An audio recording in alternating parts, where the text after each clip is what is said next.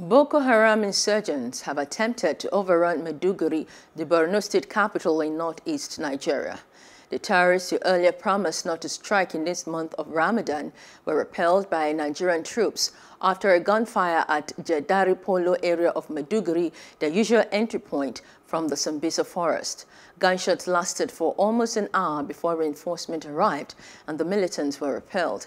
Residents who fled their homes are gradually returning under security checks to ensure that no terror sneaks in with the returning residents. Hello, hope you enjoyed the news. Please do subscribe to our YouTube channel and don't forget to hit the notification button so you get notified about fresh news updates.